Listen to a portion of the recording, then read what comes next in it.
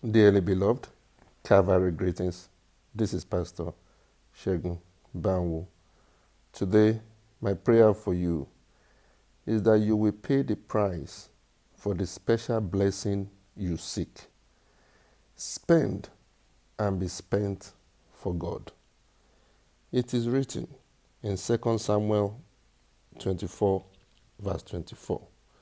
And the king said unto Araunah, Nay, but I will surely buy it of thee at a price. Neither will I offer burnt offerings unto the Lord my God of that which doth cost me nothing.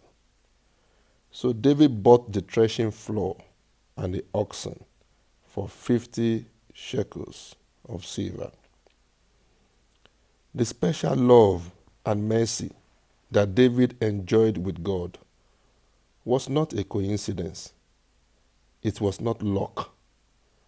David earned it with uncommon commitment with his money, his time, and his talent for the glory of God. Do you want a special blessing from God? If yes, then be ready to pay the price.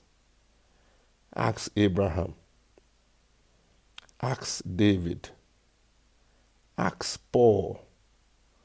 What you sow, you will reap.